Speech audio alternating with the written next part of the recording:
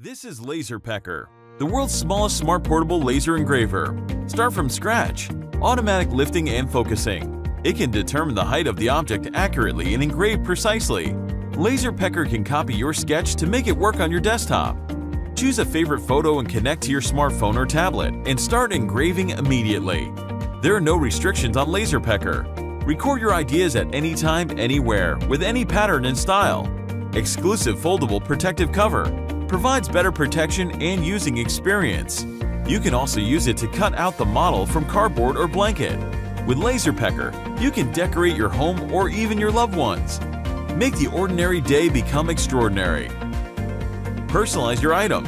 Draw and engrave on craft cardboard, wood, leather, and many other materials with so many different applications. is also suitable for expanding tripods. Carve any place that belongs to you. LaserPecker is compact and portable. It can be lifted, folded, and stored fast. You can take it anywhere. It's easy to get LaserPecker ready to work. Laser engraving is as simple as having a cup of coffee. Realize all your imaginations with LaserPecker. What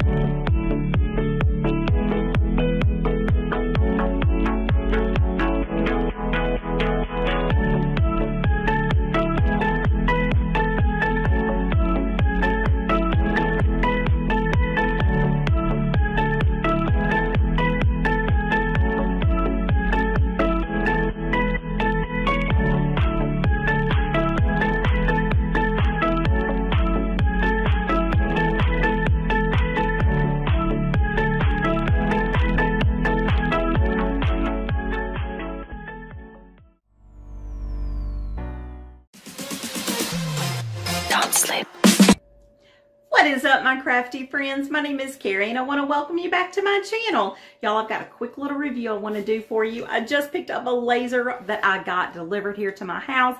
It's so stinking cute. Oh my gosh, I cannot wait to unbox this thing and see what all it can do. So let's get started. Okay, y'all, the name of this is Aufero. That is the company, and the model is going to be the LU2-4SF it got here super quick. It came from Amazon and y'all, let's jump in and see what's all in the box and what all it's going to take to get this baby set up. Let's cut this box open and get started. The first thing that I noticed as soon as I open up the box is all of the foam. Y'all, this thing is packaged so incredibly well. Each little piece of the laser has got its own compartment, and I really love that they thought to use the QR codes for you to pull up the instruction manual. I think that's our laser head. We've got some goggles. We've got our power cords. And then there's our laser. So let's just pull all of the foam off of this and get this puppy out of here. I'm so excited to get started on this. I can hardly stand it, y'all. I'm not even kidding when I tell you this thing is packaged incredibly, incredibly well.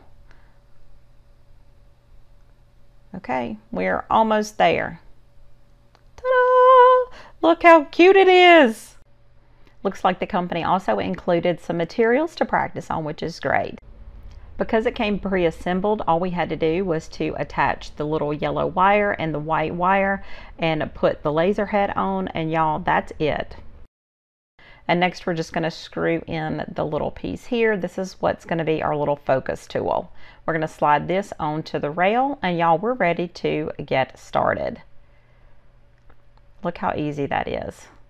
So that's going to be the focus. We're going to set the focus like that. And once we get it where we needed it to, we're just going to tighten it down.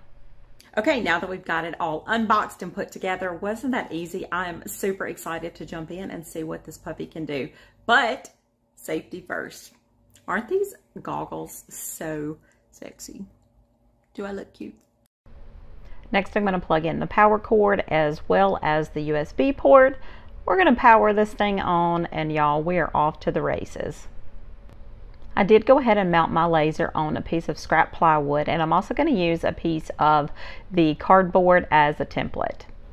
The laser is compatible with Windows and Mac and you can either use the free GRBL software or you can use the Lightburn software to power the laser. I'm familiar with Lightburn so that's what I'm going to be using today.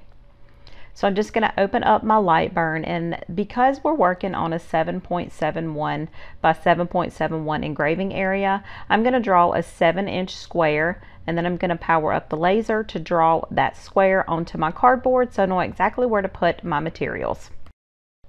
There was some thin pieces of wood for you to practice on, but I'm going to jump right in with my Arteza wood slices.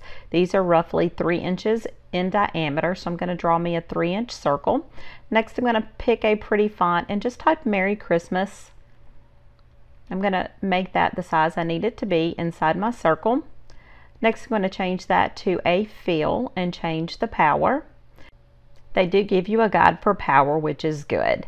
So next we've got our circle. We're going to put our focus tool on top of our wood slice, tighten down that laser head. Next we're going to remove that focus tool and y'all, we are ready to start engraving.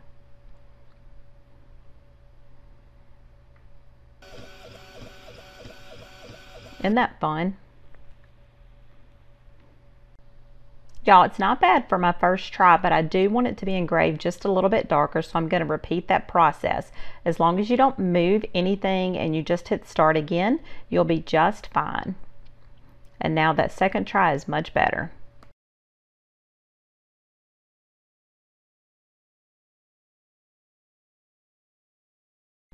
Next I want to use a scrap piece of leather to make some leather earrings. Aren't those cute?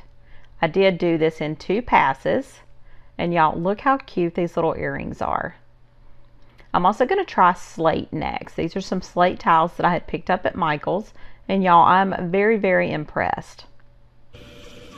Okay, I'm even going to get brave because I saw on their website that this could be done. It says you can do food. Oh my gosh, the possibilities.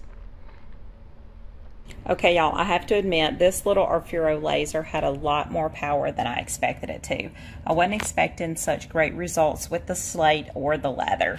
And the food was a totally unexpected option. Now, if you're going to use it for food, I highly suggest that you dedicate your laser just for food only and don't intermix and mingle those materials. Food should be only done for food. But y'all, isn't this such a fun little laser?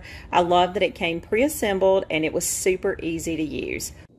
Y'all, I'm really excited about the possibilities that this new Aufero laser is going to give me. I'm even thinking about bringing this to my local farmer's market so I can engrave on keychains or any um, other little things that I can bring with me already cut out so that all I have to do is engrave on them. I think that's going to be a super fun thing to be able to offer my customers there.